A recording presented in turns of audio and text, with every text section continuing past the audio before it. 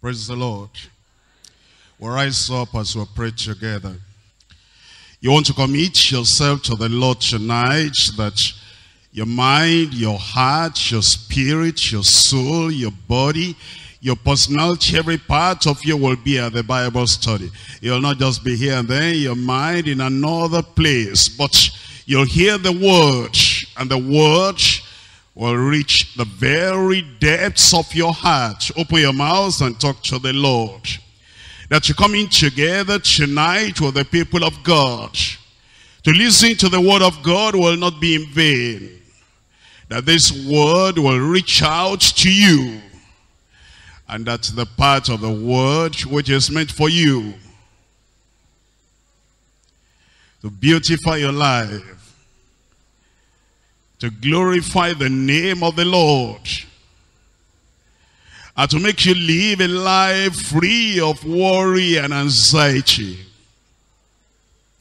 That that part of the word which is meant to bless you will not escape you tonight.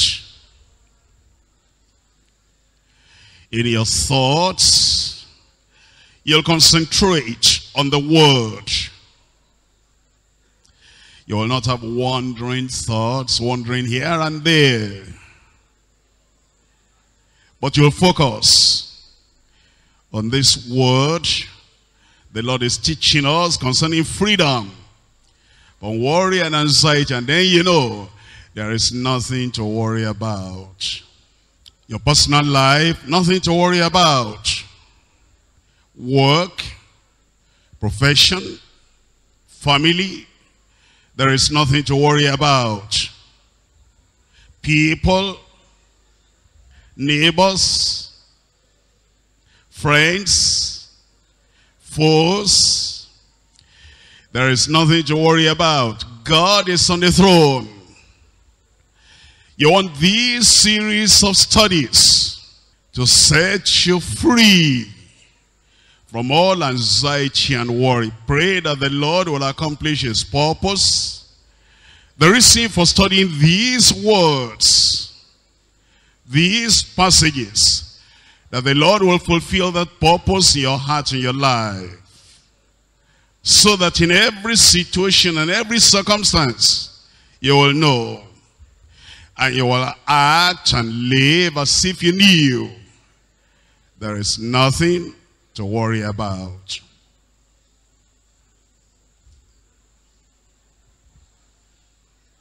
In Jesus' name we pray.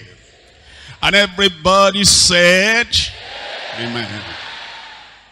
That's the way to say it at the headquarters. Father, in the name of Jesus, we thank you very much at this time Thank you, Lord, for a Bible study tonight. And thank you because we know you are here. And Jesus, the master teacher, we know that you are here tonight. The Spirit of the living God, we thank you because you are here to guide us into all truth. We pray that the truth will do good in every life tonight. In Jesus' name.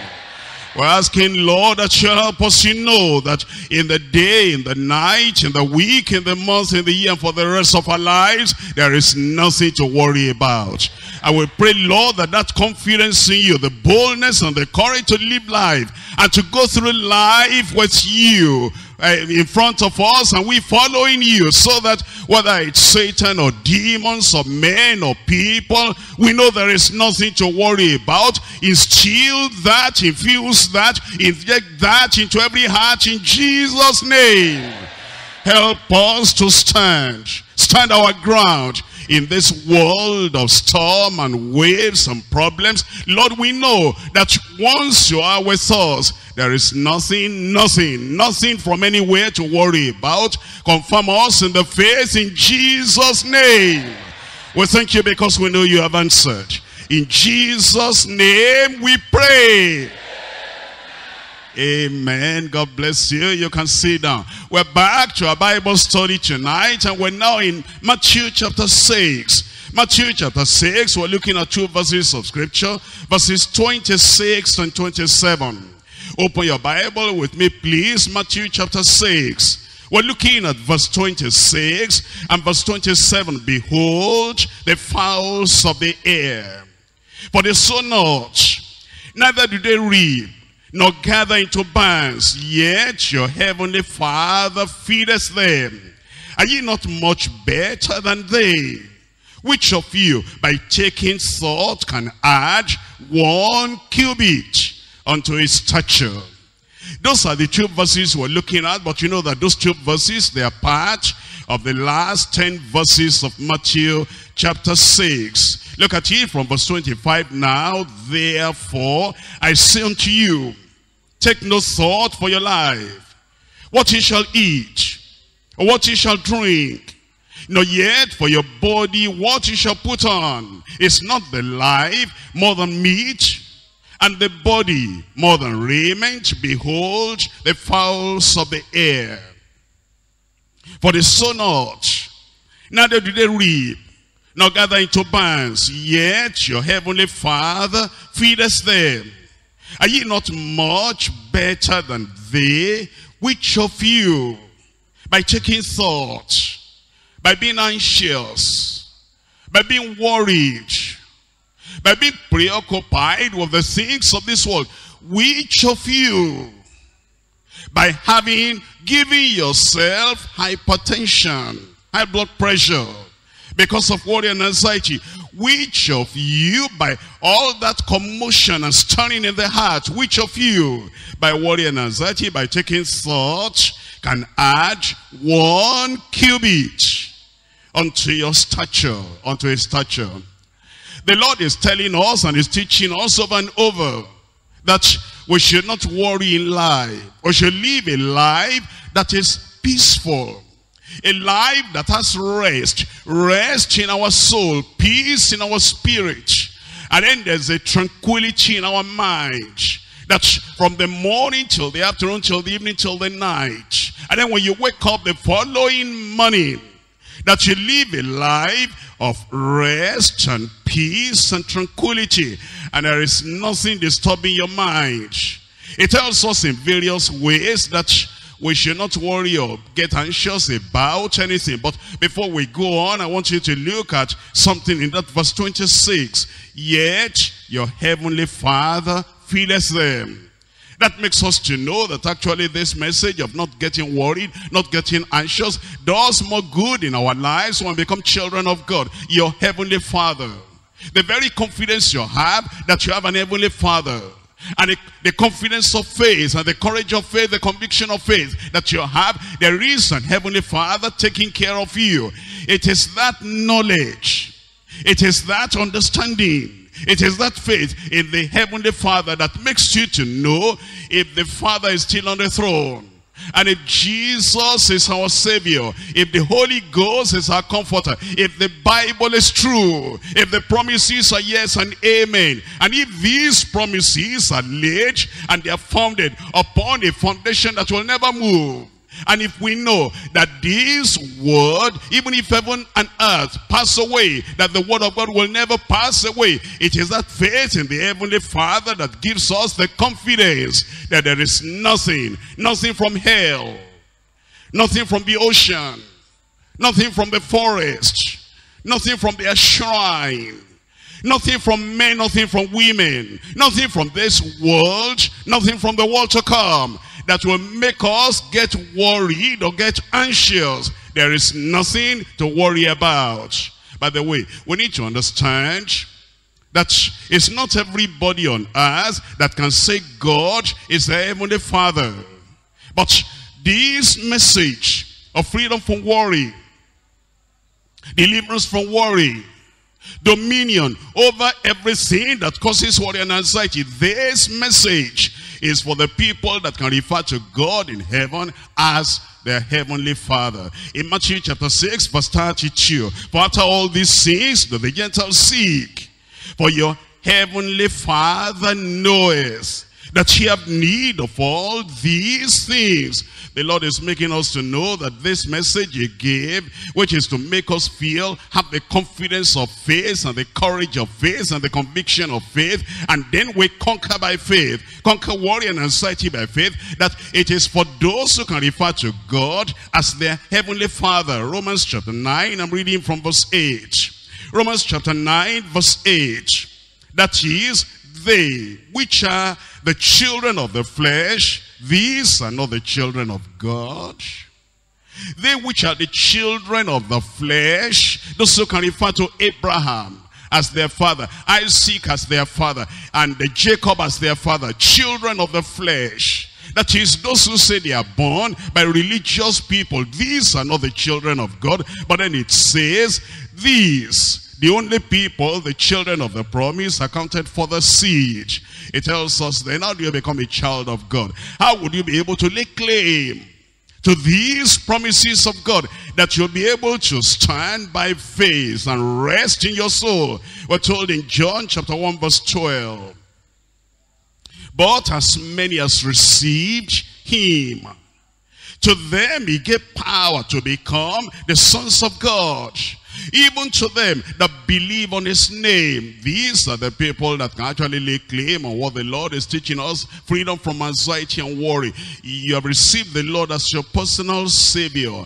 And you know that Jesus Christ is your Lord, your master, your savior. And God is your heavenly father then you can say there is nothing to worry about. I have a father in heaven. In Galatians chapter 4, I'm reading from verse 6. Galatians chapter 4, we're looking at verse 6. And because ye are sons, you have received the Lord as your personal savior. Your sins have been forgiven. The guilt is taken away. The condemnation is taken away. And you have the peace of God because you are justified by faith in Christ. Because ye are sons, God has sent forth the spirit of his son into your hearts, crying, Abba, Father. That word Abba there was there, you know, in their local language in which they wrote the Bible. It's like saying daddy. And when you love him so much and feel that closeness and intimacy of the Father, and say, Abba, Father. And then it says in verse 7, Wherefore thou art no more a servant, but a son. And if a son, then an heir of God through Christ. It means that you inherit everything that the Almighty God has in Christ. And because of that great inheritance, how rich your father is, your heavenly father. How great and merciful and compassionate and loving your heavenly father is and how particular your heavenly father is in taking care of you. That's why there is no worry or anxiety. But you need to understand, when Jesus taught the religious people of his day, he made them to understand it isn't everybody on earth that is a child of God. It's not everybody that can refer to the Almighty God as their heavenly Father. Look at John chapter 8. John chapter 8. We're reading from verse 38. I speak that, John chapter 8, Reading from verse 38. I speak that which I have seen with my father. And ye do that which ye have seen with your father. As you look at that verse, you'll see the father, my father there is capital F. And then your father there is little f, small letter f. Therefore, they're different. The Lord was talking to the eh, Pharisees and the Sadducees, the deeply, highly, greatly religious people of the land.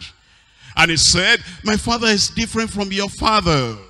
And then in verse 41, ye do the deeds of your father. Then they said, said they to him, we be not born of fornication. We have one father, even God. Now you're going to learn that it is not everybody that thinks that God is their father, that are real children of God.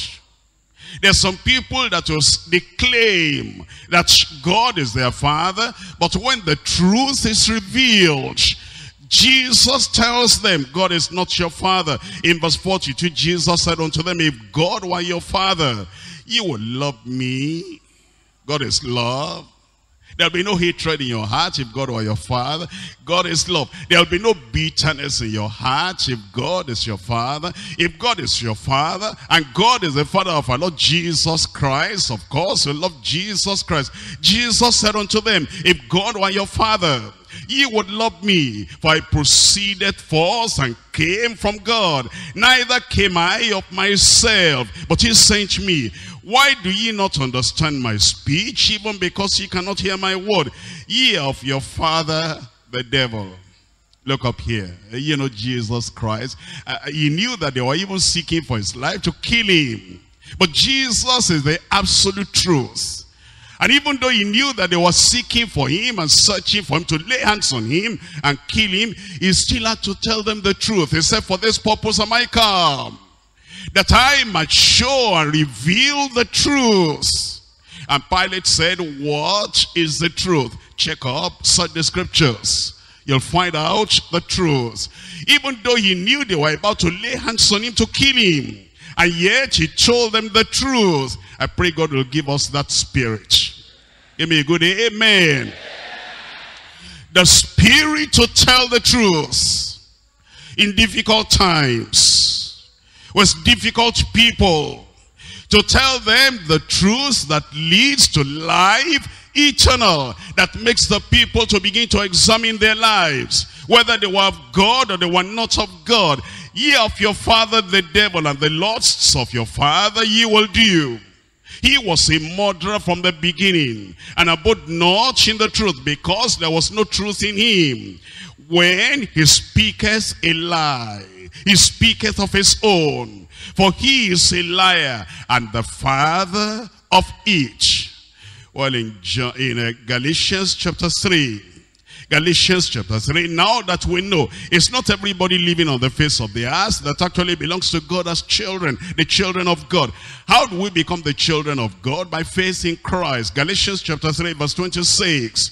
For ye are all the children of God by faith in Christ Jesus. Children of God by faith in Christ Jesus. You turn away from sin. You put your faith in the, in the Lord Jesus Christ. Then God, the Father of our Lord Jesus Christ, because becomes your own Father too. In John chapter 20 verse 17. John chapter 20 verse 17.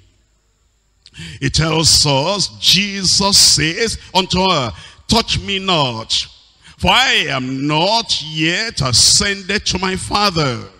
But go to my brethren and say unto them, I ascend unto my father and your father. Isn't it wonderful to have the same father as Jesus has? My father and your father. And Jesus lived a life free of anxiety because God is his father. And you too can live a life free of worry and free of anxiety because the same God who is the father of our Lord Jesus Christ is also your own father. Have you noticed Jesus never worried about anything? Have you noticed, Lord, they sought to kill you a few days ago in that place. Are we going there again? He said, let us go. We have a work to do. Let's go to the same place. There was no worry. There was no anxiety. Lord, do you know that those Pharisees were offended by that thing you said? He said, leave them alone. Every plant the Heavenly Father has not planted will, will be uprooted. There was no worry. There was no anxiety. Do you know Herod is coming to take you? He said, go tell that folks, I walk today and tomorrow and the third day, I shall be perfected. There was no worry, there was no anxiety. It was in the ship. At the end he was sleeping, and the storm was very great. Master, master, carest thou not that we perish? He rose up and he looked at the wind and he said, Peace, be still. There was no worry, there was no anxiety because God is his father. And if that same heavenly father God is your heavenly father too. There'll be no worry in your heart. There'll be no anxiety. You will relax. So have peace of mind because you know that this same God is your God and is your father. And look at that verse very well. John chapter 20 verse 17 Jesus said unto her, Touch me not, I am not yet ascended to my father. But go to my brethren and say unto them, I ascend unto my father and your father, and to my God and your God. You'll be a child of God. And the peace of God will reign in your heart in Jesus' name. God's true children, that is those who are truly born again children of God, should be free from worry and anxiety. For a child of God, worry is a self-imposed, entirely generated disease in the human family that slowly but surely kills many. If you have any worry, you impose that on yourself because there's nothing to worry about. Our Lord and Savior Jesus Christ, the great physician, the healer of both mind and body, has provided an effective cure. The causes of worry and anxiety are many and they are varied. The causes are so many that almost everybody is getting worried except those who know the mind of God, the word of God, and the will of God. And they know they are under the protection of the Lord. The rich and the poor, they all worry. The villagers and the city dwellers all worry. Men and women all worry. Married and unmarried people all worry. And the old and the young. Even the fortunate in life. They worry almost as, uh, as much as the less fortunate in life. Everybody finds something to worry about. Whatever the cause of our worry or anxiety may be, there is a cure that never fails. We'll find that cure tonight. Those who are permanently cured from worry and anxiety will be able to have peace and purpose and profitable lives that will not have any limit at all. The Lord has prescribed the means for total and perfect cure. And we must follow his prescription. You know, if you have a disease, and then you go to the doctor, the doctor will make some prescriptions for you. If you really want to get well, you'll follow the prescription. Two in the morning, two in the afternoon, two in the evening. Or just one every day, one pill. And then you swallow that. At the time, the doctor says you swallow it. And sure enough, as you follow the prescription day after day, you'll be getting better. Eventually, everything that troubled you before, everything will vanish away. And now the Lord is giving us his prescription. And he's saying, this is what to consider. This is how to think. And this is how to live. And if you live like that every day of the week, Monday, when others are mourning, Tuesday, when others have their troubles. Wednesday, when the wickedness is rising high. And on Thursday, when the thunders of people's anger is a kind of roaring. And Friday, that frightens many people. And Saturday with their sorrows. If you will just have just the mind of Christ and everything that he tells you, your Sunday will be a sunny day. And then you'll be shining every time. Every day for you will be a day of joy and a day of peace, a day of no worry and no anxiety. Because you trust in the Lord and you follow the prescription that the Lord has given you. Our Lord and Savior, Jesus Christ, is a great physician as well as a great master teacher. Effective teaching requires much repetition. And that is what our Lord has done in the last 10 verses of this Matthew chapter 6. The experienced teacher knows that it is not enough to teach an important principle only once. It needs to be repeated. That's why I repeated it over and over. And he said, take no thought. After a few verses again, take no thought Again, it says, therefore I say unto you, take no thought. And then in verse 30, for therefore take no thought.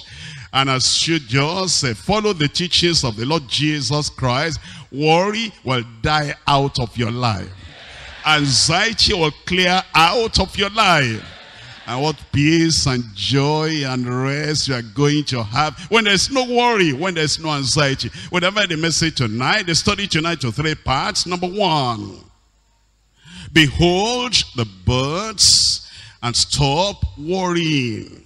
Behold the birds and stop worrying. Number two, better than birds and significantly worthy. Better than birds, than the birds and significantly worthy. Number three, behave like believers and stop worrying. As you come back to Matthew chapter 6, Matthew chapter 6, verse 26.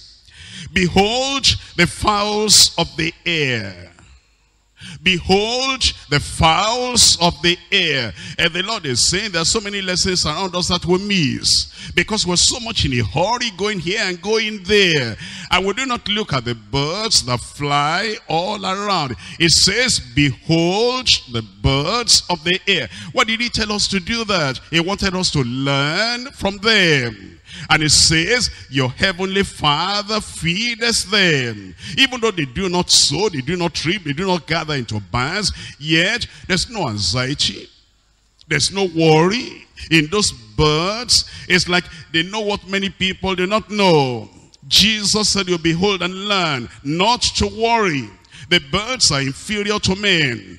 But we can learn from them. And ju just like we can learn from the ants. What do we learn? We learn that they trust in the Lord. That he will, he will provide. He'll provide for them. Do you know that God cares for even the birds? In Genesis chapter 1 verse 29. Genesis chapter 1 verse 29. And God said, Behold, I have given you every herb bearing seed, which is upon the face of all the earth and every tree in the which is the fruit of the tree, of a tree yielding seed. To you it shall be for meat. And to every beast of the, of the earth, you see that, and to every fowl of the air, without exception, to every fowl of the air, and to everything that creepeth upon the earth, wherein there is life, I have given every green herb for meat, and it was so. Do you know that even in the time of creation, the Lord did not forget those birds? It was not an afterthought. What am I going to do for the birds? What am I going to do for these inferior creatures? The Lord already thought about them. And the, the understanding is that the Lord took so much care of those birds that are almost, we can even say almost worthless. The sparrows and, and the ravens and all those little, little birds, they've got took care of them how much more God will take care of you. He will take care of you. In, in Job chapter 38 verse 41. Job chapter 40, 38 verse 41. Who provided for the raven his food? Is, is asking a question. Who is making the provision for the ravens? When his young ones cry unto God. It says anytime those uh, little little birds are crying and, and they want food, they're crying to the Lord. They wonder for lack of meat. And then they look up. Don't you see? We should learn a lesson. The, the Lord said, learn a lesson. If you have, if you are rearing fowls or you are rearing, you know, some birds, every time, you know, they look down and then they pick something, then they look up. And the Lord is saying, they're looking to the Lord. They're crying unto the Lord. We depend upon you for our daily bread, daily sustenance. And if the animals will do that, how much more those of us who are children of God, from this day, there's no fear again in Psalm 104, Psalm 104, I'm reading from verse 10. He sendeth the springs into the valleys, which run among the hills. They give drink to every beast of the field. The wild asses quench their thirst. By them shall the fowls of heaven have their habitation, which sing among the branches. Uh, you see when the birds sing, if you ever listen to them, they don't go off tune. They just sing well every time. They're just happy every time. No worry and no anxiety. And the Lord is saying, learn a lesson from them. Take a cue from them. And then have a life that is peaceful a life that is undisturbed. A life that is not distracted by all the circumstances of life. And just live a life. And, you know, I hate, I would not like for the Lord to, you know, point to me and say, have you learned your lesson? And I say, which lesson? From these little, little birds. I have Bible, they don't have Bible. I can hear the voice of God, they don't have hear the voice of God. I have the Holy Spirit and they don't have the Holy Spirit. I'm going to heaven, they are not going to heaven. They're just birds just, if they die, they just die. And the Lord is saying, why do you allow the birds to have more peace than you have?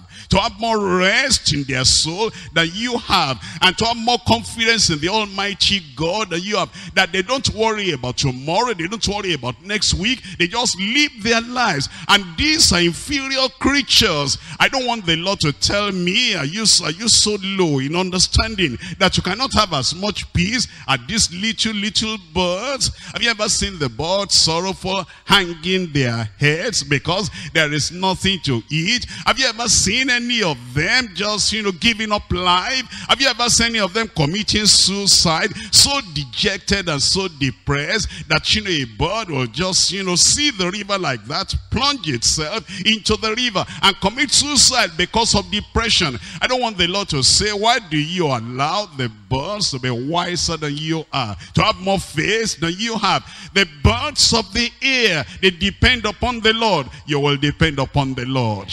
Every time there's a negative thought that comes to you, look at those birds again, because that's what Jesus said. Behold the fowls of the air.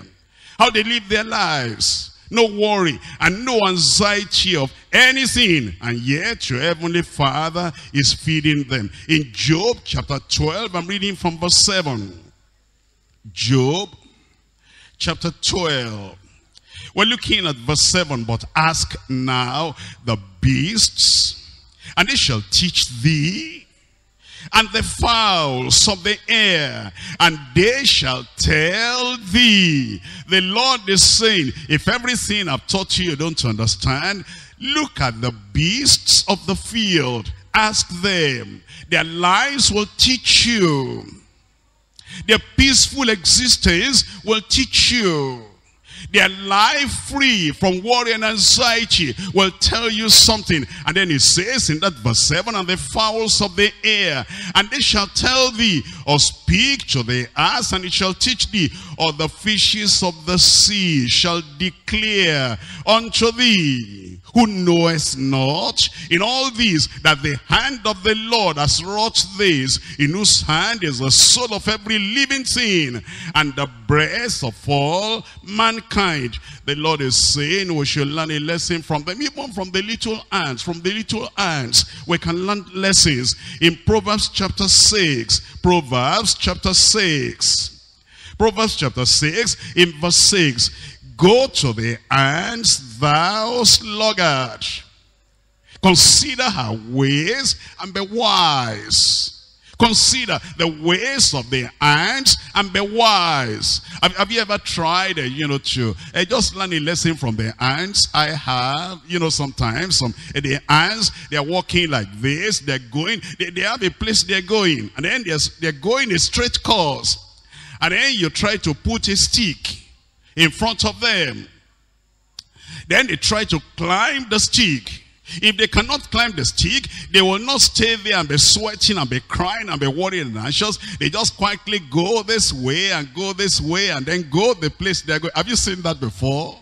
Why then do you worry? When there's a mountain before you, why do you have to fast for 14 days? In two days, you can just take it, just like that ant and go this way and go that way. And then you go on your way. No worry and no anxiety. You know, those as, you know, you disturb them sometimes, you build something in front of them, and then they know where they're going. They don't, they don't go, they don't stay there, casting out the demon of humanity.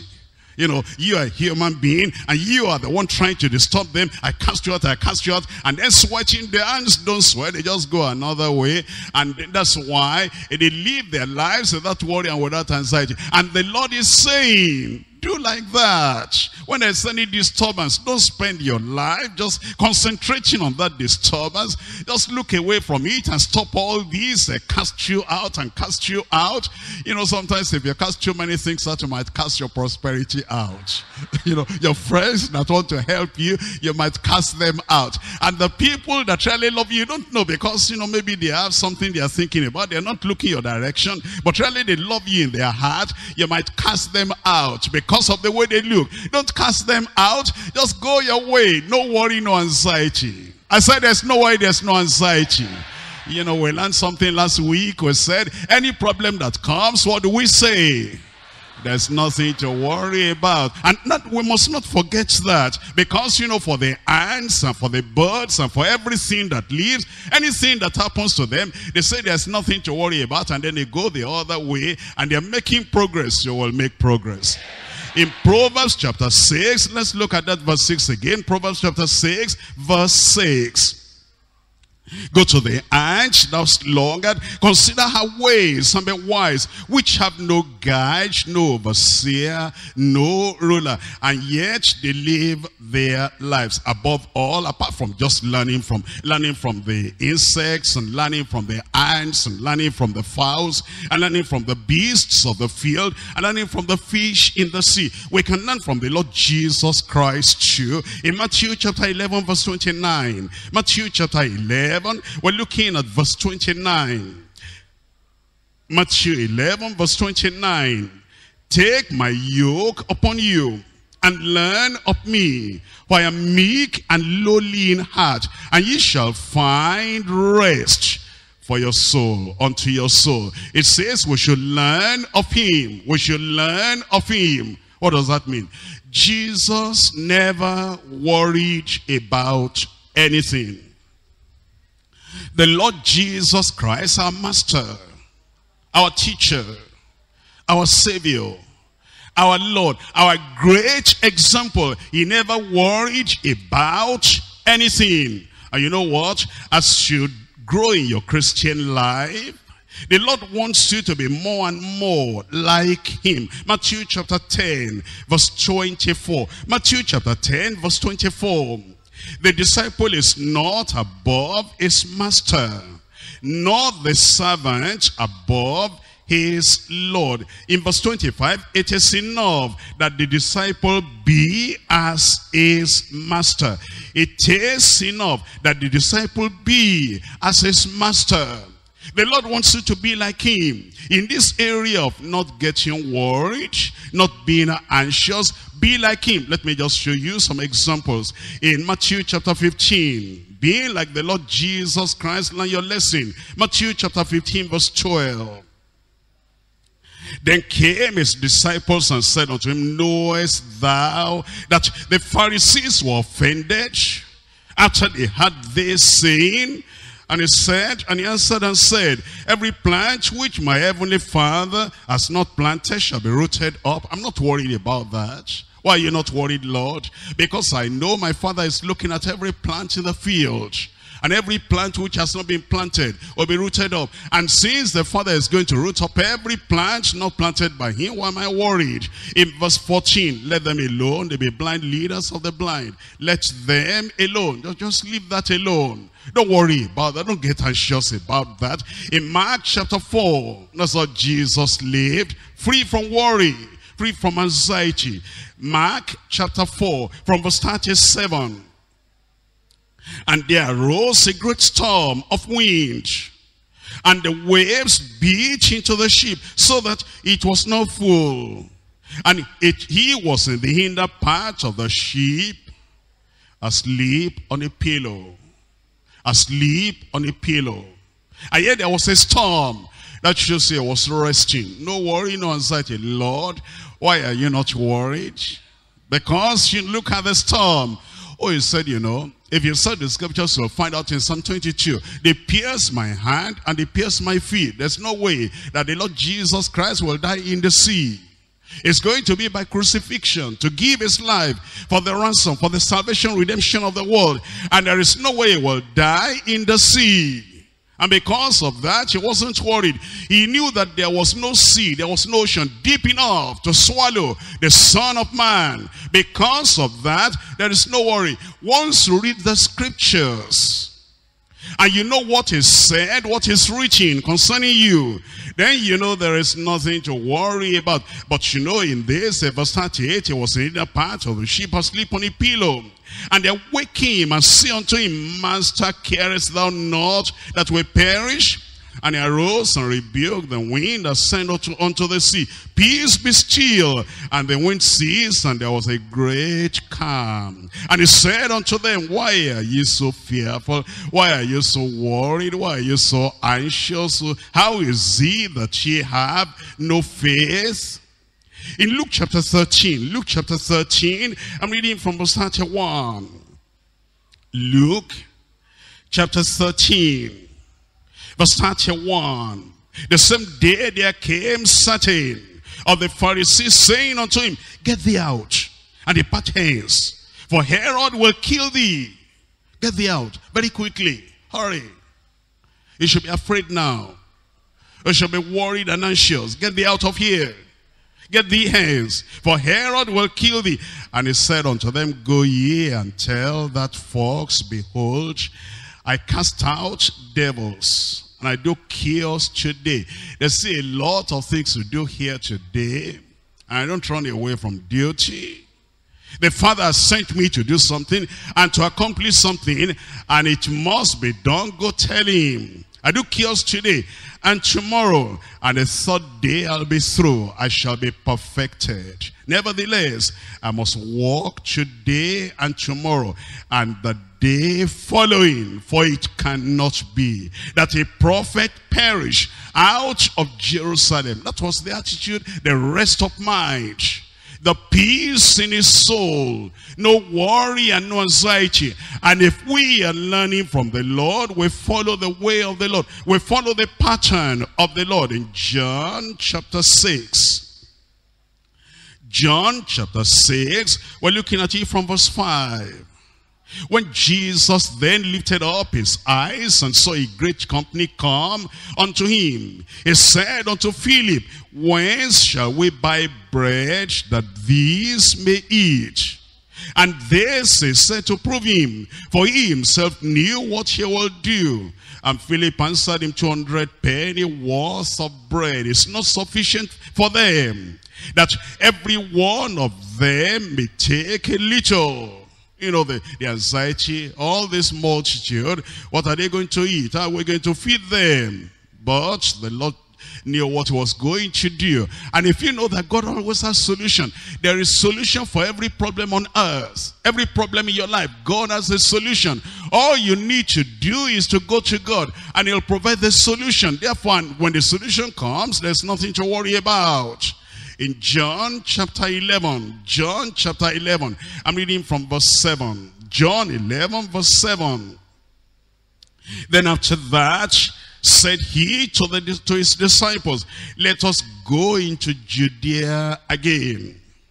His disciples say unto him, Master, the Jews of late sought to stone thee. Goest thou thither again? Are you not worried? They'll stone you. No, he could not, he could not die by stoning. He was to die by crucifixion. And therefore all the intention of the people and all the threats of the people will stone him, will kill him. That will not hold. But disciples had not learned their lesson at this time. They said, the Jews of late, they wanted to stone you. Are you going thither again? In verse 9, Jesus answered, are there not 12 hours in the day? If any man walk in the day, he stumbleth not, because he seeth the light of this world. That's how Jesus lived his life. And that is what is passing across to us. Learn from the birds. Learn from the ants. Learn from the fish in the sea. Learn from the animals in the forest. They all live their lives without worry, without anxiety. Live a life that is free, free from worry, free from anxiety. We learn from Christ to live, to fulfill the divine purpose without a moment of worry and anxiety. The purpose of creation and existence for the birds is different from the purpose of man's creation and redemption. The birds eat and live and fulfill the divinely appointed purpose without worry and anxiety. Men, the crown of God's creation and regenerated men, men who are born again, children of God, citizens of God's kingdom, are to discover the divine purpose of existence and fulfill that purpose. Discover the purpose of God for your life. Why are you here? Why are you in the kingdom? Why are you alive at such a time like this? And focus on that purpose and don't be worried or anxious about anything. You say, but I don't know the purpose. Why I'm here, I'll show you. In Psalm 4 verse 3. Psalm 4 verse 3. But know that the Lord has set apart him that is godly for himself. The Lord has set apart him that is godly, not for demons, not for the devil, not for Satan, not for the people, uh, wicked people of the world to manipulate. The Lord has set apart him that is godly unto himself. Psalm 43, verse 21. Psalm 43, sorry, Isaiah chapter 43. Isaiah chapter 43, verse 21. These people have I formed for myself. That's the purpose of your redemption. You are recreated and born again for himself. These people have I formed for myself. They shall show forth my praise. And then in First Peter chapter 2 verse 9. First Peter chapter 2 verse 9. But ye are a chosen generation, a royal priesthood, and holy nation, a peculiar people, that he should show forth the praises of him who has called you out of darkness into his marvelous light. That he should show forth. That's the purpose of your creation. That's the purpose of your redemption. The reason why you are born again. Concentrate on that. And don't uh, look here and there, being afraid of this or that. Just concentrate on the purpose of your redemption. In Revelation chapter 4 verse 11. Thou art worthy, O Lord, to receive glory and honor and power for thou hast, for thou hast created all things, and for thy pleasure they are and were created. That tells us then, uh, you have a purpose why you were made, why you were created, why you were redeemed, why you were born again. Fulfill that purpose. Uh, you know, we're not, you are not created only to just eat, only to just drink water, only to just clothe ourselves. You know, some people only, only live to eat we live for a purpose. And we eat for a purpose. And we sleep for a purpose. And we have accommodation for a purpose. The end of life is not to have accommodation. The purpose of life is not to have food. The purpose of life is not to get married. The purpose of life is not to have shelter. We have all those things to make it convenient for us to fulfill the purpose. But some people only live to eat. That's what the Lord is saying. The Lord has created you for a purpose and saved you for a purpose. Concentrate and focus on that purpose. And then he'll supply everything you need while you're focusing on the purpose for which the Lord has created you. I pray that your life will be wiser in Jesus' name. We come to point number two. Better than the birds and significantly more worthy than those birds. In Matthew chapter 6, we're looking at verse 26. Matthew chapter 6, the second part of verse 26. Are ye not much better than they? Are ye not much better than they? Are ye not much better than those fowls of the air? you know, every time, once in a while, just stop everything you're doing and just think, how significant are you? How important are you? How worthy are you? Bought by the blood of the Lamb. Cleansed by the blood of the Lamb. Purchased by the sacrifice of Jesus Christ. How significant are you? And then there is a place in heaven mansions on high for you. How significant are you? You have things that the birds of the air do not have. You have a privilege the birds of the air do not have. You have a father in heaven the birds of the air do not have. And because of that, you see how important you are, how significant, how worthy you are, that will set you free from worry and anxiety. Uh, see, apart from even, apart from birds, apart from birds, how significant are we? You are more significant than even other human beings who are not born again in the sight of God because you are a child of God because you are a child of God.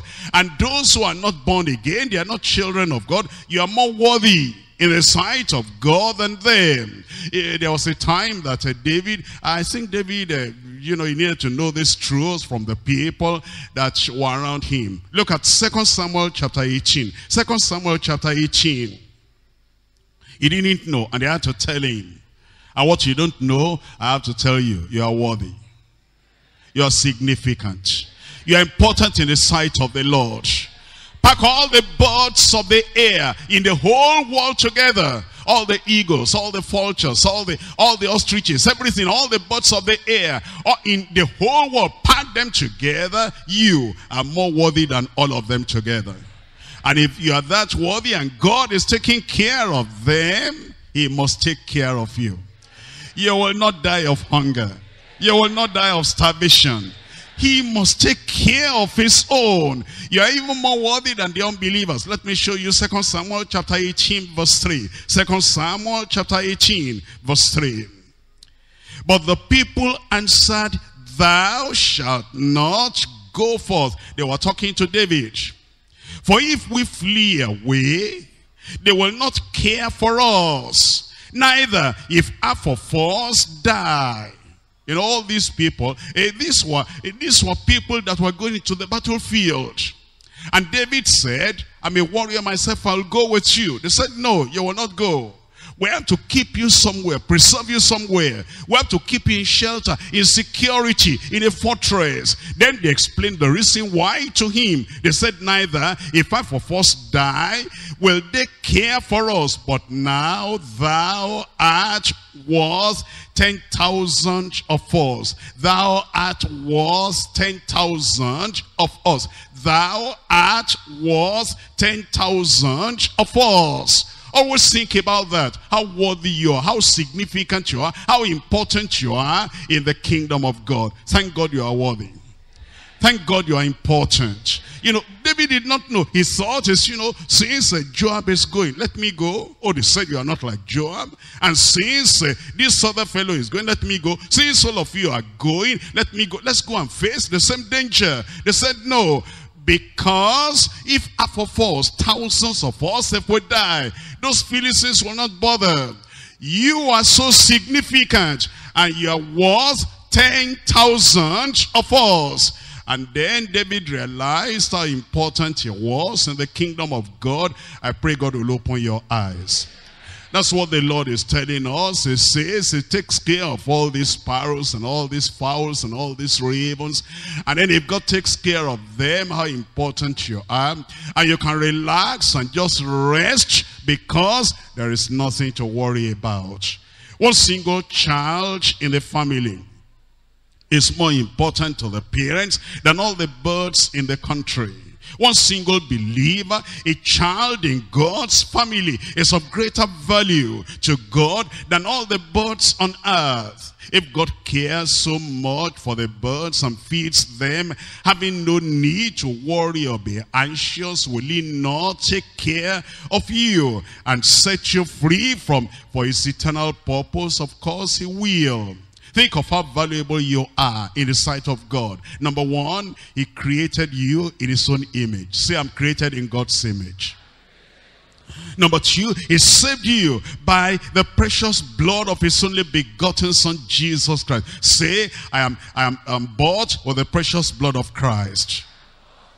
Number three, he has chosen you to praise him. He has chosen you to praise him. And you know, if your voice becomes silent, the Lord is going to lose the praise that ought to come from your mouth. And because of that, he's taking care of you. And then he, he, he sanctified you to love him supremely. Number five is teaching you his word to make his whole mind known unto you and through you to others. Number six, he has committed commissioned you to serve him and to bring sinners to salvation in Christ. Number seven, the price. He has paid to bring you to himself and to fulfill his eternal purpose in you and to prepare you ready for heaven.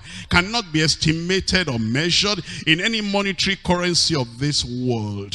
And because of that important significance that you have, that's why he's taking care of you. There is nothing to fear. You are more important than all those things. Will God ever forget you? Never. He will never forget you.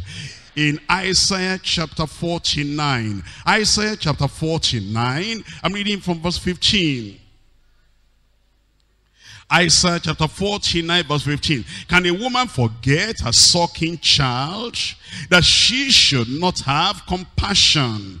Can a woman forget her sucking child that she could should not have compassion on the son of her womb? Yea, they may forget, yet I will not forget you. The Lord will not forget you. because you are important in his sight, because of that, he will not forget you in Jesus' name. Matthew chapter 10 verse 29. Matthew chapter 10. I'm reading from verse 29. Matthew chapter 10.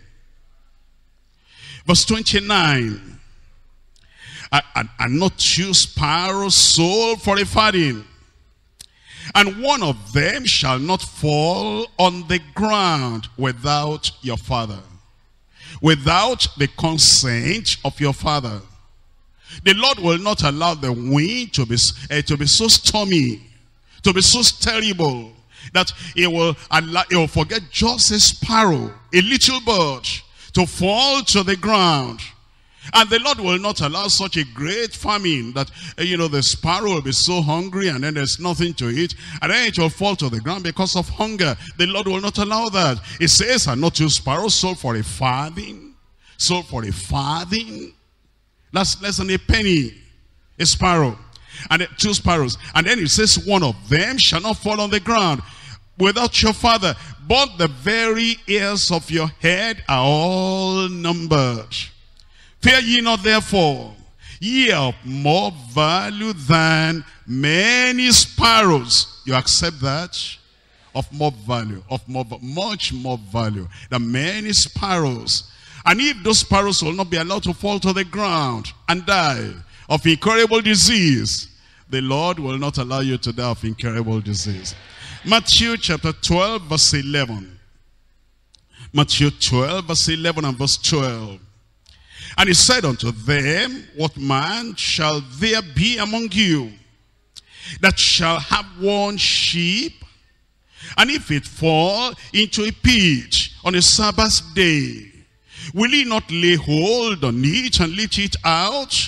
How much then is a man better than a sheep? How much then is a sheep? Is a man better than a sheep. You see what the Lord is telling us? He's saying that we're so significant, therefore we'll not allow any of these things to wreck our lives, ruin our lives, and destroy our lives. He must take care of us. Luke chapter 12, verses 6 and 7. Luke chapter 12, verses 6 and 7. Are not five sparrows sold for two farthings? And not one of them is forgotten before God five sparrows sold for two farthings. By the way, you know where we read before. Two sparrows sold for a farthing. Now, you traders know, the more you buy, the less it costs. Two sparrows, one farthing. Normally shall be four sparrows, two farthings. But because you are buying four, now they put one. Five sparrows sold for two farthings. And it says, not one of them is forgotten before God. And But even the very hairs of your head are all numbered. Fear not therefore. Ye are more value than many sparrows. The Lord has repeated it so many times that we should remember that we're special in the sight of the Lord. Malachi chapter 3 verse 16 to verse 18. Malachi chapter 3 verse 16. Then they that feared the Lord spake often one to another. And the Lord hearkened and heard it. And a book of remembrance was written before him for them that feared the Lord and that thought upon his name. A book of remembrance was written before him What's the meaning of a book of remembrance? It's a book that contains the list of the names of the people of God. And God looks at that very often and he remembers that one belongs to me, that one belongs to me, that one belongs to me. And in times of danger, he remembers. That's in my list. That's in the book of life. A book of remembrance written concerning you, concerning me, concerning all the children of God who are so much concerned for the honor, for the glory of God. And it says in verse 17, they shall be mine, says the Lord of hosts.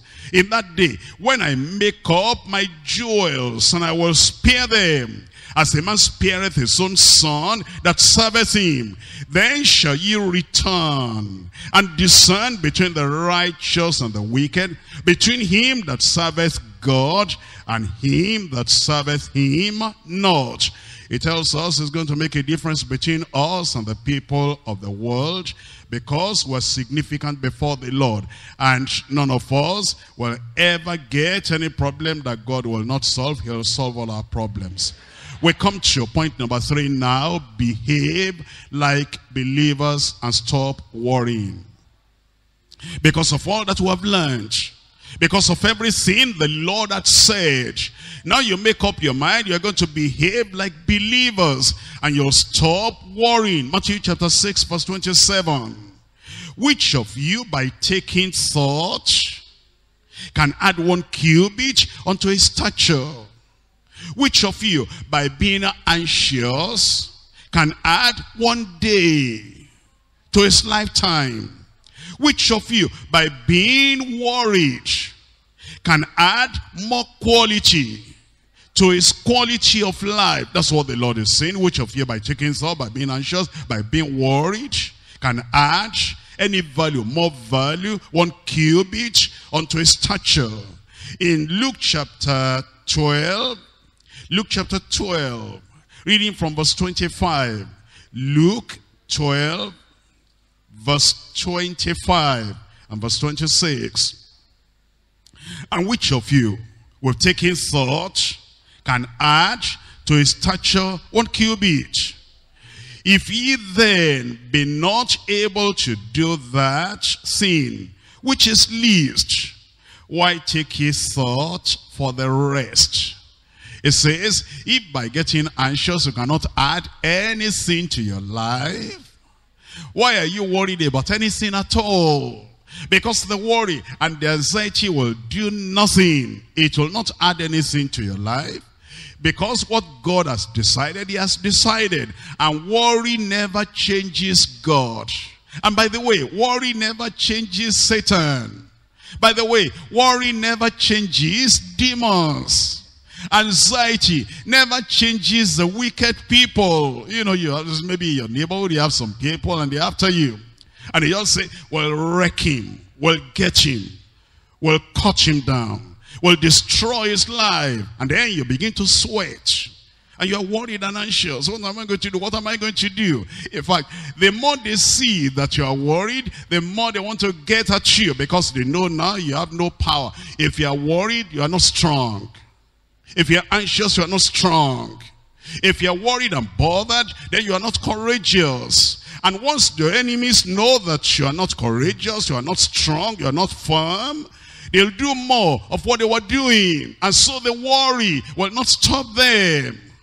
The worst they can do is what they're doing. In fact, you know, to help you, think of the worst that could happen. This is what my enemy is doing. This is what they're doing. Don't stop there. Think of the worst. What if they do more? What if they multiply their evil deeds? And then at that worst, present that worst before the Lord and say, even if the worst comes to the worst, Lord, can you deal with this? And God says, I can deal with that. That is not up to Pharaoh's threat yet. That is not up to Nebuchadnezzar's fire yet. That is not up to the lions, to the den of lions yet. Whatever your enemies do, whatever Satan does, whatever demons do, don't panic. Don't be afraid. Just stand and say, what if it becomes more, more tense, hotter, more terrible? And then say, Lord, can you still deal with it? And God says, yes, I'll deal with it. And then you go to sleep. You will rest. Look at Ecclesiastes chapter 3. Ecclesiastes chapter 3, verse 14. Ecclesiastes 3, 14. I know that whatsoever God doeth, it shall be forever. Nothing can be put to it, nor, nor anything taken from it. And God doeth it that men should fear before him. Whatever is happening, it's either the thing is of God or it's of Satan. Number one, if it's of God, my worry will not change it. If God has done it, if God is doing it, worry will not change it. On the other hand, if Satan is doing it, worry will not change it, but prayer will change it. Faith will change it. And then you'll be able to stand. Stand on the word of the Lord. That's what the Lord is saying. Which of you by worrying can prolong his life? Or add to the quality of his life? Worry is useless and unprofitable. What can man's worry or anxiety accomplish except to weaken you for positive and progressive action? When you are worried, your brain stops thinking. When you're worried, your mind becomes weaker. Even your physical strength. You'll not be able to run as you were running before. You'll not be as excited about life as you were before. When worry and anxiety are there. And so the worry and anxiety will paralyze you for progress, for promotion, for your onward journey. On the other hand, you need to understand, since God will not respond to worry and anxiety and unbelief and discontent and murmuring, what does he respond to? God responds to faith and prayer. Whatever the situation, don't worry, just pray. Whatever the situation, don't be anxious. Just look up in faith unto the Lord. And what worry cannot change, what anxiety cannot change, faith and prayer will change that thing. Look at uh, how, how faith and prayer, how it turned everything around. Genesis chapter 18. Genesis chapter 18, reading from verse 17. And the Lord said, Shall I hide from Abraham that thing which I do? Seeing that Abraham shall surely become a great and mighty nation and all the nations of the earth shall be blessed in him. For I know him that he will command his children and his household after him. That and they shall keep the way of the Lord to do justice and judgment that the Lord may bring upon Abraham that which he has, he has spoken of him. And the Lord said, because the cry of Sodom and Gomorrah is great and because their sin is very grievous, I will go down now and see whether they have done all together according to the cry of it, which is come unto me, and if not, I will know. And the men turned their faces from thence and, and went towards Sodom, but Abraham stood yet before the Lord. He had an information that Sodom and Gomorrah will be destroyed. But Lot, his nephew, and the wife and the children were there. What if he became worried and anxious? All of a sudden be begins to sweat. But no, no sweating, no worry, no anxiety. You can pray. And so in verse 23, Abraham drew near and said, Well, thou also destroy the righteous or the wicked. Peradventure, there shall be 50 righteous within the city. Will thou also destroy and not spare the place for the fifty righteous that are therein, that be far from thee to do after this manner. You know, if you are worried, you will not be able to compose yourself. You'll not be able to compose the words. You'll not be able to put the right words before the Lord. You'll not be able to reason, reason with the Lord. But he said that be far from thee to do after this manner to slay the righteous or the wicked, and that the righteous shall be as the wicked. That be far from thee. Shall not the judge of all the earth do right. And the Lord said, if I find in Sodom 50 righteous within the city, then I will spare the place for their sakes. God was ready to change his mind by prayer, by prayer, prayer and faith. Exodus chapter 32. In Exodus chapter 32, we're looking at verse 9. Exodus 32 from verse 9. And the Lord said unto Moses, I have, I have seen this people, and behold, it's a stiff-necked people. Now therefore let me alone, that my wrath may wax hot against them, that I may consume them. What if, you know, Moses began to think now, this is all my life. This is all my ministry. I forsook being a king in, his, in Egypt. And I forsook all the pleasures of Egypt. And I gave my life to a ministry like this to rescue the children of Israel. And now God is going to destroy all of them. And destroy everything I've given my whole life to. Worry and anxiety will do nothing. You know, your business or your ministry or the church or anything, something is happening, they will become worried and anxious and we're sweating. Everything is being destroyed. The false prophets are destroying everything. This is happening, this is happening. What if everything goes up in ashes in flames? Worry and anxiety will accomplish nothing. Relax. God is still on the throne. I said, God is still on the throne. And so when Moses had that information, you see what he did in a verse, uh, now in verse, um, in verse 11, and Moses besought the Lord his God and said, Lord, why does thy wrath wax hot against thy people, which thou hast brought forth out of the land of Egypt? With great power and with a mighty hand. Where should the Egyptians speak and say, for mischief did he bring them out to slay them in the mountains and to consume them from the face of the earth? Turn from thy fierce wrath and repent of this evil against thy people. Remember Abraham, Isaac, and Jacob. You will not know to pray if you are worried, if you are anxious. Eh, the words will escape you your mind will be paralyzed. You'll not know what to tell the Lord. You'll just be saying, what are we going to do now? Look at these children of Israel. God is going to destroy them. And my life has been wasted. I've been giving about, you know, all these years. And then I suffered in Egypt. I did this. I got them through the Red Sea. And see what is happening now. I'm so worried. I'm so anxious. Eh? What are we going to do now? And God is going to destroy them. Worry and anxiety will paralyze your mind. You'll not even know what to say, what to tell God. It just be, you know, wringing your hands together, rubbing your hands together. You'll be, you know, wiping away the sweat. You will kneel down, you'll not know what to say because of worry and anxiety. Relax. It is when you relax, no worry, no anxiety. Even if the worst comes to the worst, that God now has threatened that all these children of Israel, I'll wipe them out. Relax. What am I going to say? Approach the Lord. You can pray. You can manifest faith. And you can begin to reason with the Lord. Come now and let us reason together, says the Lord. State your case and plead with me and bring my covenant and my promises. Bring everything before me. Don't worry. This problem will be solved.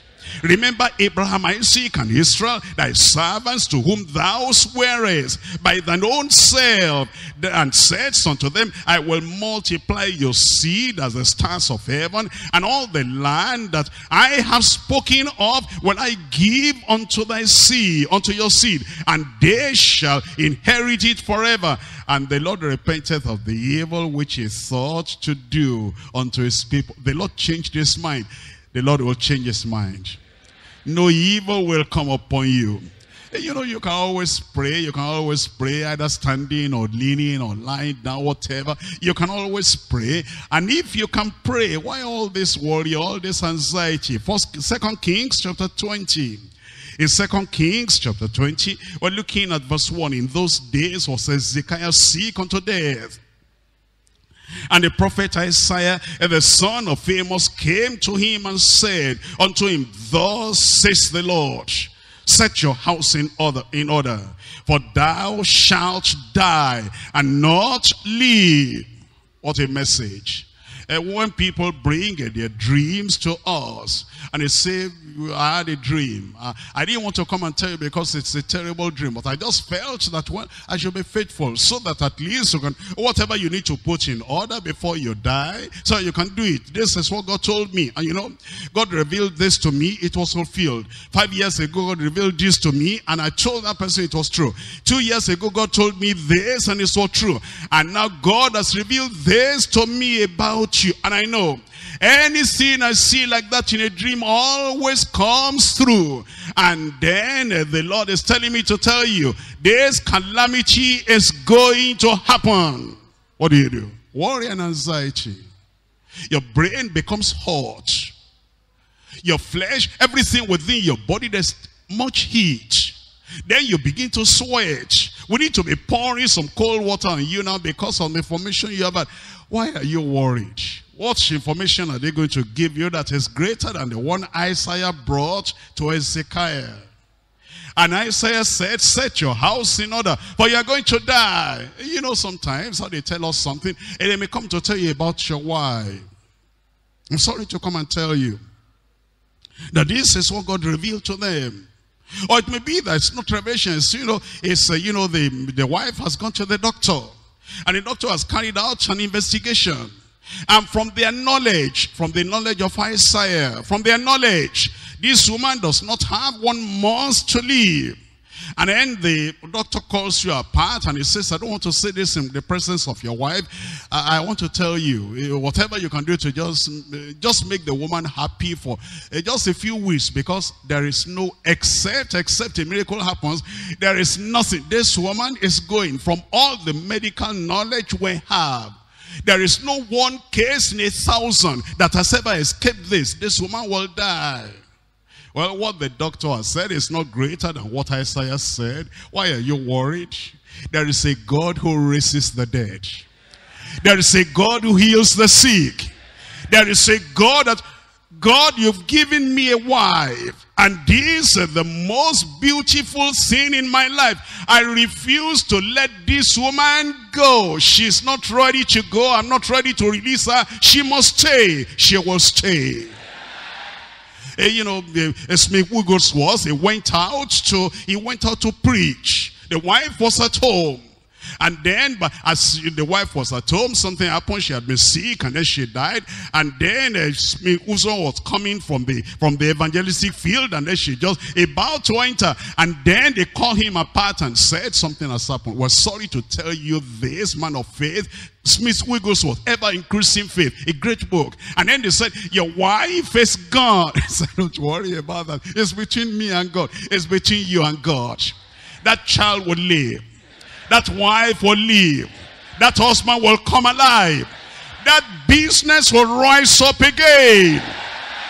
Then Smith Wigglesworth entered and then saw the wife and then picked up the wife dead and then put her behind the wall and say in the name of Jesus called her name and said come alive and she came alive if God can do that God loves you I said God loves you. Whatever information you have heard something good is about to happen in your life. All those negative dreams and negative prophecies don't worry about them. Tonight we're going to crush them.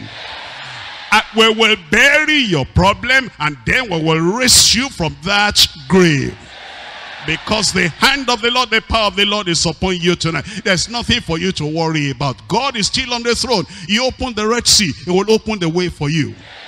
He drowned the, the, the, the Egyptians in the Red Sea. He will drown all those problems in your life. Don't sweat, don't worry, don't be anxious because there's a brighter future on your, in your way. And then he turned his face to the wall and prayed unto the Lord saying, I beseech thee, O Lord, remember. O Lord, remember. Don't you know me? I am more, I'm worthy more than the birds. I'm more important than all the fowls of the, oh Lord, don't you remember me? I am Hezekiah. I am a king. You appointed me as a king. I've not finished my work. I still need extra time. I don't want to die now. Who wants to die now? I don't want to die now. You will not die now. Remember me now. How I have walked before thee in truth and with a perfect heart. And I've done that which is good in thy sight. Verse 4. And it came to pass afore Isaiah was gone out into the middle court, that the word of the Lord came to him. Those who brought negative news, they'll come back to bring positive news.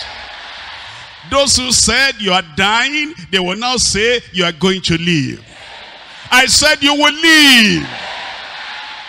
A particular family, they wanted to travel to Canada. And then they went for medical checkup. All the members of the, the father, the mother, the children. And one of the children, a daughter, a teenager, about 17 or 18, had some real serious problem. And then they told the father, and they said, well, this is a situation, a terrible medical report, that this is what has happened. And then that alone will not allow that child to travel with them. And the whole family wanted to travel together. And it's like now, the problem of this child will not allow the whole family to go. And I happened to go to that location at that time. And they heard that I was around. And then I, you know, open time up for counseling, see them one by one. And the senior brother of this, uh, of this uh, daughter brought uh, that daughter and said, there's a problem, that's a, that's the problem. There's nothing to worry about. In your life, God will reverse every negative report in Jesus' name. And then we pray. The normal prayer we usually pray. And then I said, go back for another medical report. And she went back. And that was the following week after they had given the first report. And then the following week when she got there, the same doctor tested her, tested her through and through. And then they went to their lab and checked everything. And then eventually the the the, uh, the doctors wrote to the they said, we're sorry, we're sorry. We must have given a wrong report to your daughter. Everything is totally changed. And we're here together tonight. Every negative thing in your life is changing Jesus' name. Why do I worry when I have a God who drowned the Egyptians in the sea? Why do I worry when I have a God that stopped the sun because of Joshua? Why do I worry when I have a God who destroyed Goliath in the presence of David? Why do I worry when I have a God who kept Shadrach, Meshach, and Abednego in the burning fiery furnace and they were just walking one, two, three, and then for the Son of Man was with them. And Nebuchadnezzar said, servants of living God come out. When I have a God like that, why do I worry? Why do I worry? When I have a Daniel that spent a whole night in the lion's den, and then the following morning, Daniel, servant of the living God, is your God whom you serve day and night, able to deliver you. Live forever, O King, my God, whom I serve, has sent his angel. He has stopped the mouth of the lion. And he said, come out, and he came out, and there was no hurt upon him. Why do I worry when I have Jesus who walked upon the sea? And he said, it is I, be not afraid. Tonight, why are you worried? Why are you anxious? What's bothering your mind? Why can't you come to God and say, God, I'm not ready to die yet. I will not die. But I will live. I will declare the glory of God. Everything you are worried about, we cancel everything tonight. Why don't you stand up and say, I'm not going to worry in my life. Nothing to worry about anymore. Nothing to worry about anymore. I love God, I will not worry. I believe in God, I will not worry. I'm serving God, I will not worry. I give my life to Christ, I will not worry. I believe the word of God, I will not worry. I can pray, I will not worry. I have the same God of Shadrach, Meshach, and Abednego. I will not worry. I have the same God of Daniel. I will not worry. I have the Father of the Lord Jesus Christ is my heavenly Father. I will not worry. And the one who drowned the Egyptians in the Red Sea is my God, is my Father. I will not worry. The one who saved and protected Daniel in lion's den, he is my God, he is my Father. I will not worry. The one that struck, the one that sent the angel to strike Herod, and then he died immediately. And then he delivered Peter out of the prison. He is my God, he is my Father. Because of that, I will not worry. The one that healed Ezekiel and added 15 years to his life. He is my God. He is my Father. I will not worry. The one that raised up Jairus' daughter. He is my God. He is my Father. I will not worry. The one that multiplied bread and those 5,000 people ate just a boy's lodge. He is my provider. I will not worry. He will keep me in perfect peace because my mind, my heart is resting and staying on him. There is nothing to worry about. There's nothing to worry about in your life, in your, in your family, concerning your wife, concerning your children, concerning your husband, concerning your business, concerning your future, concerning your progress, concerning your promotion, concerning bearing children, concerning getting married, concerning anything in your life. There is nothing to worry about. I will not worry. I will not worry. I will not worry. Why don't you tell the Lord there's nothing to worry about? There's nothing to worry about. There's nothing to worry about. There's nothing to worry about. What can the enemies do when God is on the throne? What can the demons do when God is your father? What can Satan do when God is your father? What do you worry? What are you worried about? In the day and in the night. Every time and everywhere. Before people and before angels or demons. Nothing to worry about. Because God is on the throne, he'll take care of you. Is your heavenly father. Have you given your life to the Lord Jesus Christ? There's nothing to worry about then.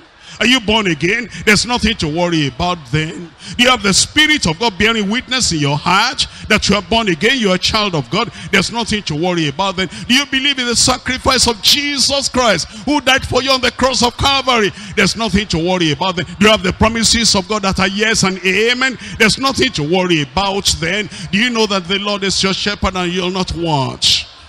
You'll not lack anything. There's nothing to worry about then. Do you know that God will supply all my needs according to his riches in glory by Christ Jesus? There's nothing to worry about then. Nothing to worry about then. He lives inside your heart.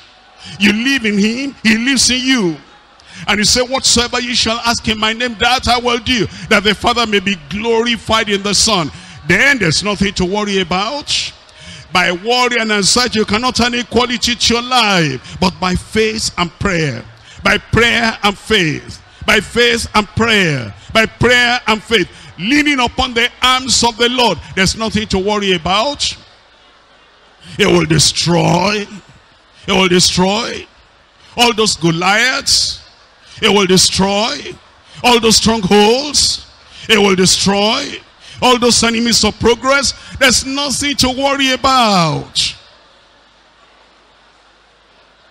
He'll take care of you. He is the one who saved you.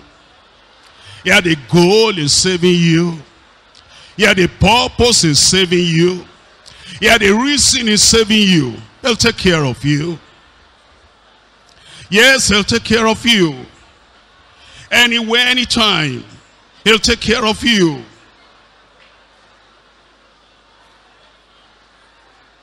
You need to get married. He knows about that. He'll provide. You want children. He knows about that. He'll do it. He's a specialist in making impossibilities possible. He does the incredible. He does the unbelievable. Yes, he will. Yes, he will. Yes, he will. He has not changed. He cannot change. Trust in the Lord. That's what the people of old, that's what they did. Abraham trusted in the Lord. Abraham trusted in the Lord. That's how he was able to pray. Make up your mind, there's nothing to worry about. Whatever happens, around you, whatever you feel in your body, whatever sickness, whatever infirmity, whatever challenge, whatever pressure, whatever oppression, relax, there's nothing to worry about. You know, worry will not allow you to pray. Anxiety will not allow you to pray. And worry will not change anything. Worry will not change anything. Anxiety will not change anything. But prayer and faith how that will change, how that will change every negative thing and turn every negative thing to become positive in your life.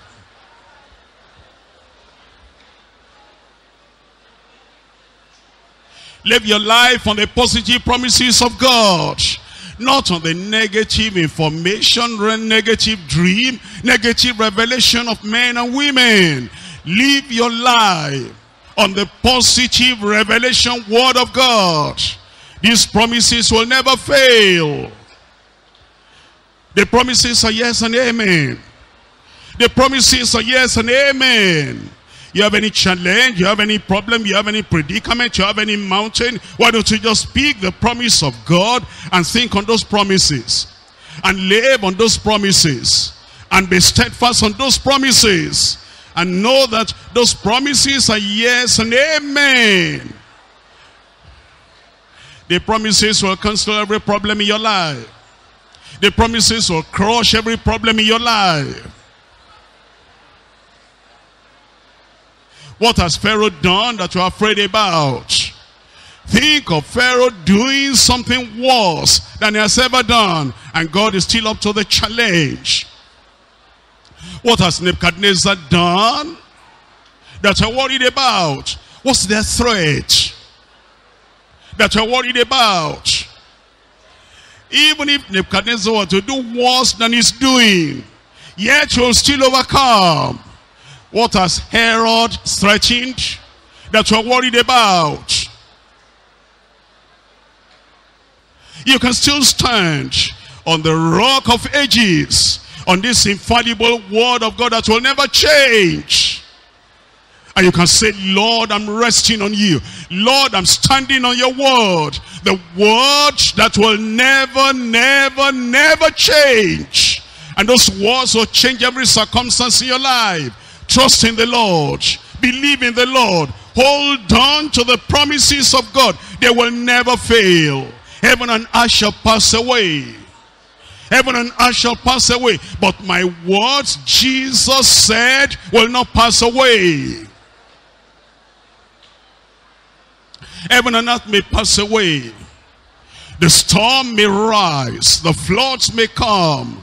The flame may become hotter. There's nothing to worry about. The Lord knows how to solve your problem. Rest in the Lord and put all the problems right in the hand of the Lord tonight. And say, Lord, I leave all the problems with you. I leave all the problems with you. I leave all the problems with you. And as you hand over all the problems into the hands of the Almighty God, you'll find the Almighty God taking care of those problems. He's up to them. He's up to them. He's up to them. He can, he can meet every challenge. Yes, he will meet every challenge. Tell the Lord, oh Lord, here am I. Make sure that God is your heavenly Father. Make sure you are born again. Make sure you're a child of God. Make sure you are trusting in the blood that flowed from Calvary. Make sure that you are purchased by the blood of the Lamb. And then there's that assurance in your heart, unshakable assurance unmovable assurance that you belong to the Lord. And then whatever may be tied, whatever may come up, whatever may arise, you know that the Lord is taking care. Yes, you know he's taking care. Yes, you know he's taking care. Yes, he'll take care of you. He'll take care of you.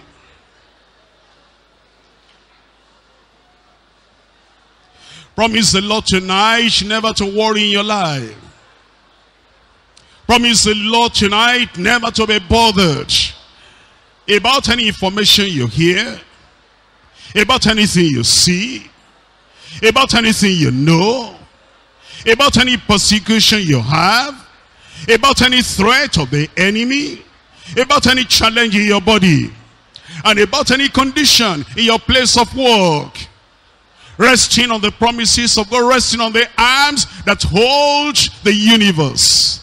You say, yes, I know those things are there, but there is nothing to worry about. There is nothing to worry about. Trust in the Lord. And he'll see you through. Trust in the Lord. And he will see you through. Trust in the Lord. And he will see you through. Trust in the Lord is still on the throne. The same God of Abraham is still on the throne. The same God of Moses is still on the throne. The same God at the time of Joshua is still on the throne. The same God at the time of David is still on the throne. The same God at the time of Elijah is still on the throne. Now the same God in the time of Elisha is still on the throne. Yes, he provides. He quickens a mortal body. He heals a sick body. He gives victory to our soul, to our spirit. Whatever temptation, whatever trial. Believe that the Lord is still on the throne. And the Lord will see you through. Standing on that promise of God that will never fail. The unchanging word of God, the infallible word of God. That will never, never, never fail.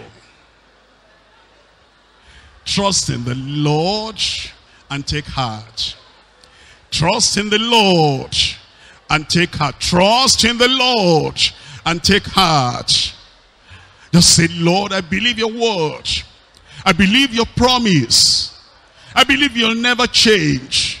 I am God, I change not. And Jesus Christ the same, yesterday and today and forever.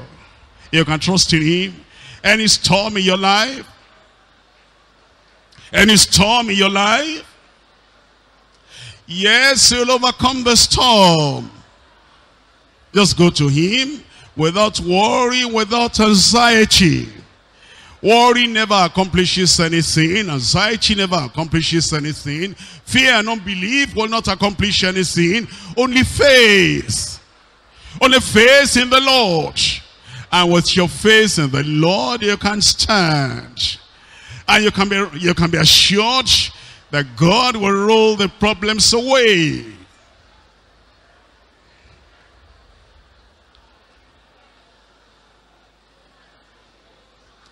Never be sad or despondent since your faith to believe.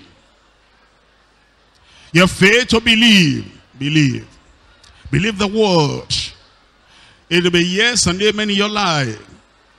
And then that word of promise, the word of power, will cancel every negative thing that the devil is trying to bring to your life. Then you can stand on that word that the Almighty God himself has given to you. And then on the basis of that word, you can live a life, a life free of anxiety, a life free of worry, a life free of fear, a life free of depression, a life that is free of panic, a life that is full a life that is joyful. A life that is happy. A life that is peaceful and resting.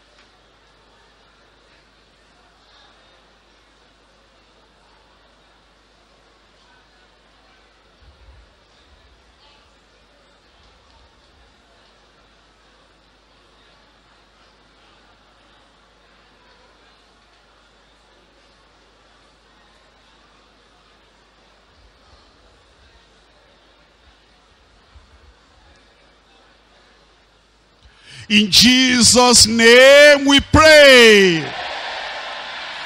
Headquarters, amen. Do you know you are victorious already? You know there's nothing to worry about now. You know that all your problems are solved. Do you know that you live a better life, a richer life, a happier life, a higher life in Jesus' name? Your friends will laugh with you. Your enemies will be sorrowful. Satan will regret. Your persecutors will regret. All the promises of God are for you. The Almighty God is on your side.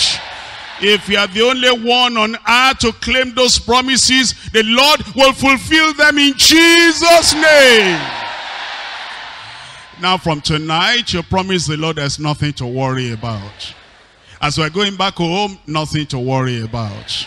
As you go to your place of work, nothing to worry about. As your enemies threaten, nothing to worry about. As your friends forsake you, nothing to worry about. As maybe they delay your salary, there's nothing to worry about. God is going to take care of you. Where you will reach, you will reach. What you will do, you will do. Anybody that stands in the way, you will get to where you will get to in Jesus' name. Just make up your mind that no matter what they do and no matter where they are as you're making your journey, if they stand in the way, don't look at them and don't focus on them. Don't worry about them. Just go your way and the Lord himself will get you to where you ought to be in Jesus' name. You will reach your goal. You will climb every mountain. You will solve every problem and you will enjoy the goodness of the Lord in your life in Jesus' name. Now, before I pray, I need another amen. Praise the Lord. Just raise up your hand. We're going to pray, Father, in the name of Jesus. We thank you because from tonight, there is nothing to worry about in the sea, on the land, in the air, in the forest, in the village, in the city, in the church, anywhere and everywhere. Lord, we cancel every reason for worry and anxiety in Jesus' name. Every brother here, every sister here, I release you to the blessing of the Lord. Every plan of the enemy, every plan of demons, every plan of Satan, I cancel your life in Jesus' name that life-threatening disease in your life, I cancel it right now. And I command you sickness, come out in Jesus' name. All those negative dreams, all those negative prophecies, all those negative threats, I command you be cancelled in Jesus' name. Lord, I pray that every good thing that your people desire, you give it unto them. And Lord, I pronounce for them a happy life, a good life, a prosperous life, a contented life, a protected life, a secured life, a victorious life in Jesus' name. From today, what you are not able to do before you will do. Where the Lord has appointed you for you to reach, you will reach there. Every enemy, every obstacle is cleared out of your way in Jesus' name. You go out now to pick up your success. In your life, nothing to worry about. In your family, nothing to worry about. In your profession, nothing to worry about. And I pray as God blesses your material things on that final day, you'll get to heaven. I pray the Lord will confirm every miracle in your life. Thank you, Lord, because we know you have answered. In Jesus' name we pray. Amen. Thank you very much. The joy of the Lord will never